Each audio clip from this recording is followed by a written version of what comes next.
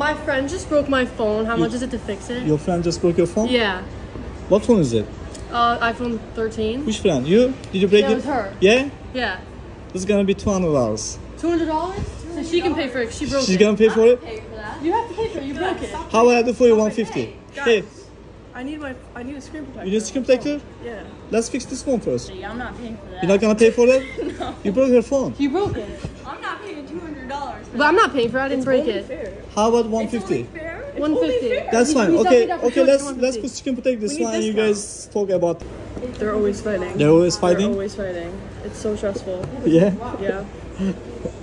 what about a discount? Will you give Discount? them a discount? Yeah. Ten dollars discount. He'll give you a ten dollar discount. he.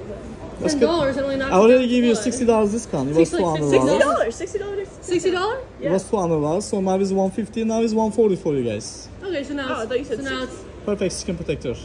Oh, gorgeous. You like it?